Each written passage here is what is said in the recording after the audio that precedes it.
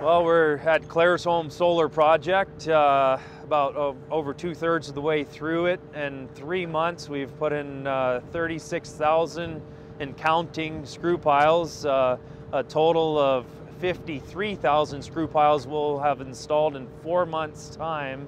And it's a 132 megawatt project, which is the largest single solar project in Canada. That's Bryce Bernhard, the CEO of Alberta Screw Piles. Screw piles are the uncelebrated bedrock of the booming solar industry that nobody ever thinks about.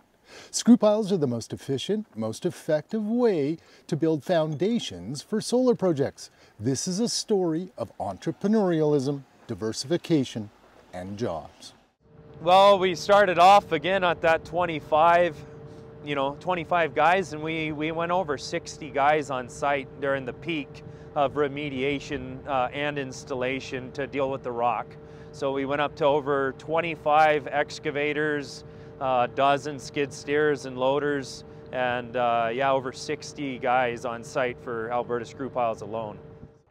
The funny thing is, all you hear about in the news is the doom and gloom of low oil prices, COVID-19, and economic turmoil. Claresholm is the largest solar project ever built in Canada.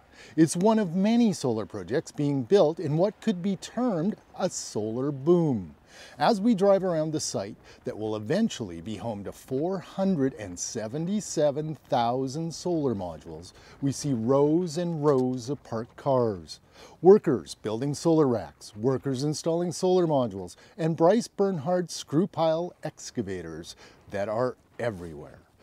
Bryce Bernhard knows things are bad out there, so he counts his blessings every day as his screw pile business is booming amidst chaos.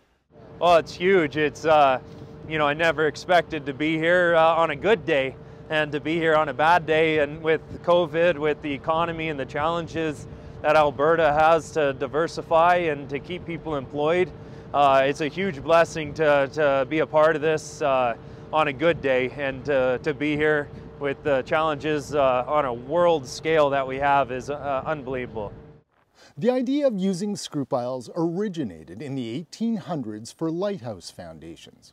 But it wasn't until the 1980s that the technology caught up and made screw piles the perfect solution.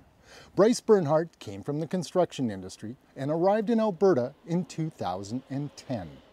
Well, I had uh, $1,800 in a Dodge, uh, 1999 Dodge pickup and a U-Haul trailer and uh, uh, one bag of tools. Well, I'm originally from Houston, Texas, moved here in uh, 2010 and uh, started a small construction business and seeing how screw piles work, their efficiencies and advantages and a day-to-day -day construction scene and, and that's where it all started and we just grew into Alberta Screw Piles limited from there. The reason Bryce came to Alberta originally was because he met a woman from Alberta in Texas. He started using screw piles in his construction business for decks, light industrial applications, and he quickly realized that screw piles were the secret sauce. By 2015, he was buying bigger equipment, and after a few tough years, he started landing large projects. Yeah, and then 2016 was uh, tough years of, you know, fighting for uh, establishing our existence. And then 2017, we uh, started getting some bigger industrial work. And then uh, that was a year that the cannabis facilities really started popping up and we did a number of those. Uh, I guess starting with Aurora uh, Sky and Aurora Sun. So that was thousands of piles over a couple of years span. After cannabis facilities, Alberta Screw Piles landed a contract for the new Amazon warehouse and then doing municipal buildings and new schools under the NDP government. In that same year, Bernhard discovered that screw piles were God's gift to solar. Teen, we started doing a lot of smaller projects out on farms, um, you know, municipalities again, you know, um, Lions Club stuff, you know, a lot of smaller projects here and there. It's been a meteoric rise for Alberta screw piles.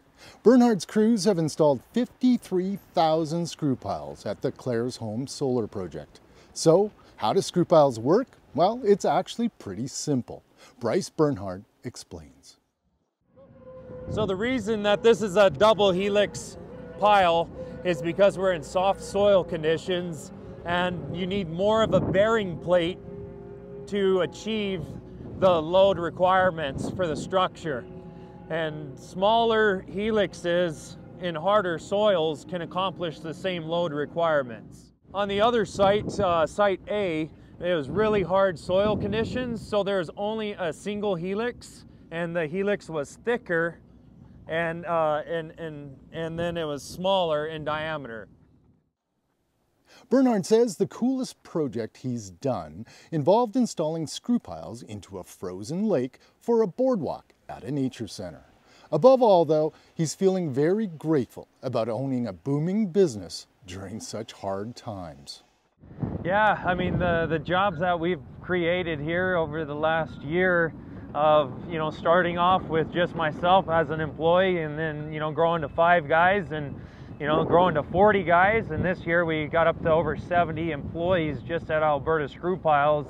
Um, you know, and a lot of that has to do with renewable energy and solar projects. Success has also enabled Bryce Bernhard to attract good employees. You know, and also the kind of guys that we've uh, that we've been able to come across just with great attitudes, uh, happy to have work, uh, to be working 12 hours a day, seven days a week for months straight and just have a great attitude every day uh, through hard windy days, through snowy days, through hot desert days and wind storms and uh, dust storms. Uh, it's just been incredible to be a part of, you know, that success to keep guys working hard and uh, in the future is looking really great uh, for the next couple of years.